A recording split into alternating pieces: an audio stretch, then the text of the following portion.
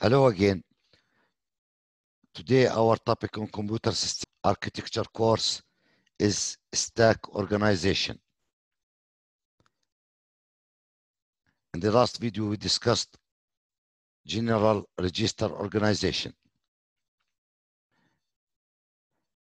A stack is a storage device that stores information in such a manner that the item stored last is the first item retrieved. And it is also called last in, first out list. The register that holds the address of the stack is called a stack pointer. The stack pointer always points to the top of the stack. There are two operations on the stack. Insertion, also known as push, and deletion, known as pop. A stack can be implemented using registers or using memory. Here we have a 64 word register stack. So the size of the stack pointer should be 6 bits at least, since 2 to the power 6 equals 64. We have three items in this stack, A, B, and C. Item C is in the top of the stack, so the content of the stack pointer is 3. To remove an item from the stack, the stack is popped by reading its top, and the contents of the stack pointer should be decremented by 1. And to insert a new item, for example D, the stack is pushed by incrementing the stack pointer and writing a word in the next tier location in the stack. So now the stack pointer points to location 4, which is the top of the stack. Data register holds the binary data to be written into or read out of the stack. According to this structure, the highest value the stack pointer can hold six ones, which is in decimal equivalent to 63 here. So if the contents of the stack pointer are all ones, we have six bits. Adding one to this value results in all zeros. This is in the push operation. And when all zeros are decremented by one, the result is all ones. The one bit register full is set to one when the stack is full, and the one bit flip flop or register empty is set to one when the stack is empty. Initially, the stack pointer is set to zero, the empty flag to one, and the full flag to zero. This means that now we can push items into the stack, but we cannot pop items from the stack. To push an item into the stack, the stack pointer is incremented by one, and the contents of the data register is transferred to the register or location addressed by the stack pointer. Note in this organization, the first item is pushed into location one, not in zero. On the next push, again, we increment the stack pointer by one and write the item from the data register into the location addressed by the stack pointer. Really after the first push, the empty flag should be cleared to zero, allowing pops to be performed on the stack. If we continue pushing after location six ones, we increment the stack pointer by one, so we'll have all zeros and the item, last item pushed, is pushed into location zero. In this case, we should switch the state of full flag to one, meaning that the stack is full and we cannot push any more items. According to the previous organization, the push operation is implemented with the following sequence of micro operation. First, the stack pointer is incremented by one. Then the content of data register is transferred to the memory location addressed by the stack pointer. We check if the stack pointer is zero, then the full flag is set to one. Empty is set to zero, allowing pop operations to be performed. Again here, the first item is pushed into location one. And the last item that can be pushed into the stack is stored in location zero. So when the stack pointer reaches zero, this means that the stack is full and the full flag should be set to one. An item is deleted from the stack or popped from the stack if the stack is not empty. The pop operation consists of the following macro operations. First, the contents of memory location addressed by the stack pointer is transferred to the data register. After that, the stack pointer is decremented by one, and we check if the stack pointer equals zero, then empty is set to one. After any pop operation, full is set to zero or reset, meaning that we can push items into the stack. A stack can exist as a standalone unit or can be implemented in random access memory attached to the CPU.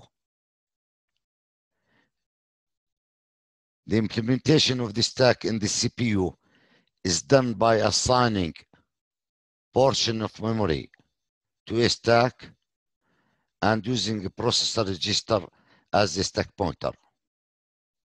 If this scenario is used, most computers do not check for stack overflow. The stack limits can be checked by using two registers, the lower and upper bound registers.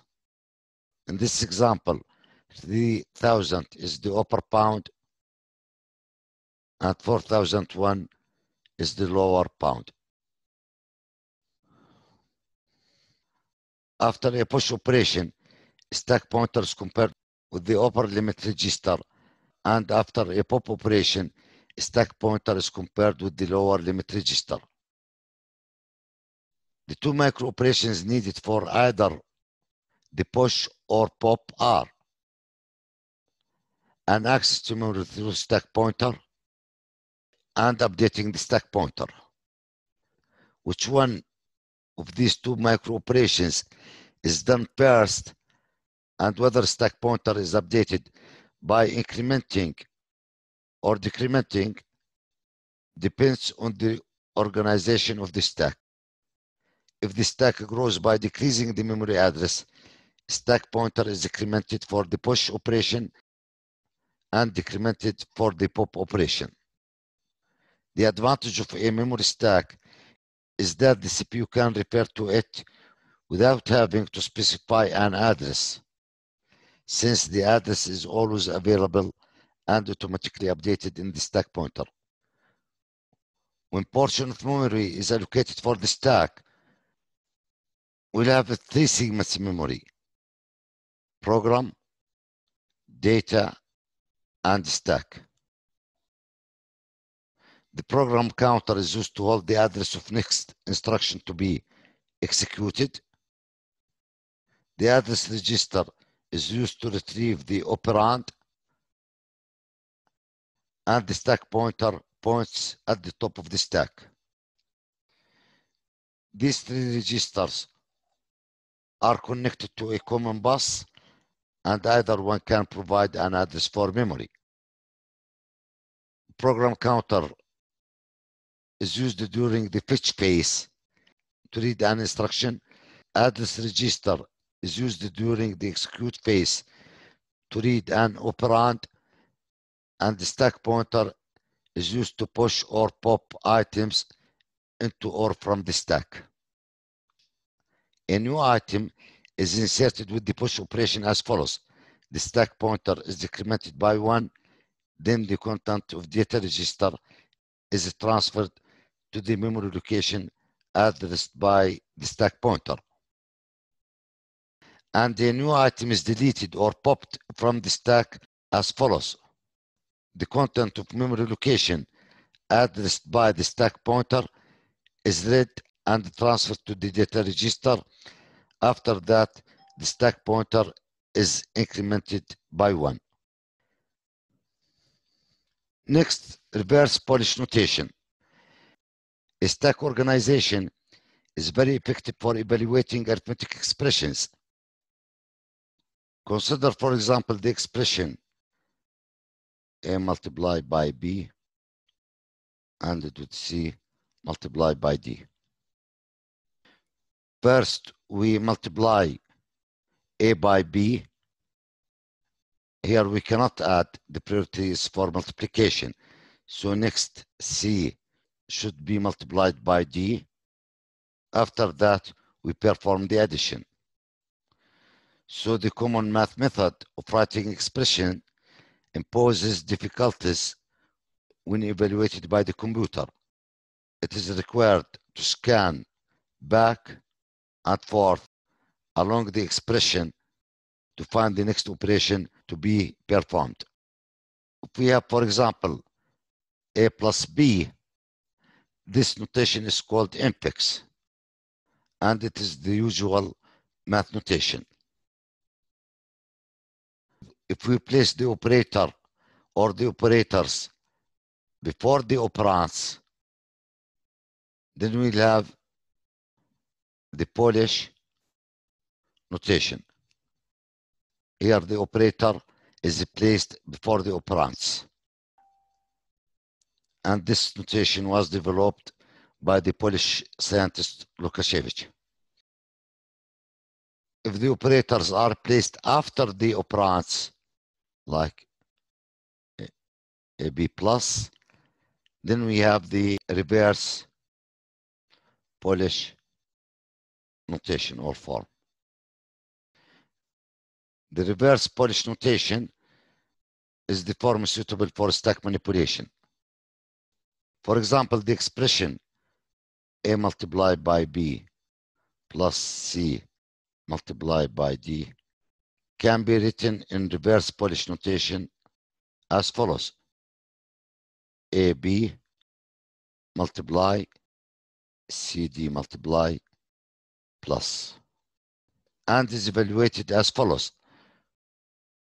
First, A is pushed into the stack, then B is pushed. Here we encounter multiplication, so we multiply the two items on the top two locations of the stack. Here we'll have A multiplied by B. Next, C is pushed into the stack. Next, D is pushed into the stack. Next, we have here multiply. The top two locations are multiplied. So we'll have here C multiplied by D. Next, we have here the plus sign. So we add the top two locations. A multiply by B. And we can pop the result of the expression. Consider the arithmetic expression, for example, 3 multiplied by 4 added with 5 multiplied by 6. First we insert 3, then 4, then we have multiply, the result is 12, then we push 5, then we push 6.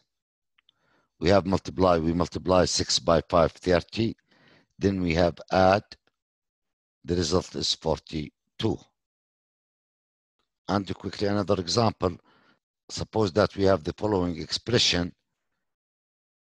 It's converted to reverse Polish notation as follows. Here you should be careful about the priorities First, we can add A to B, but we cannot multiply. We have to add D with E. Next, multiply the C, add to F, and multiply the result in the square brackets by A plus B. According to this reverse Polish notation, first A is pushed into the stack, then B. Then we have addition we'll have in the stack A plus B. Next, D is pushed. Next, E is pushed. Next, we have the plus sign. So in the stack, we'll have D plus E. Next, we have C pushed. And next, the operator for multiplication. So we multiply C by the next location, which is D plus E. Next, F is pushed. Next, we have the plus sign. So we add the top two locations, F plus C multiplied by D plus E. Here we have A plus B. Next, we have the multiply operation. So we multiply the top two locations,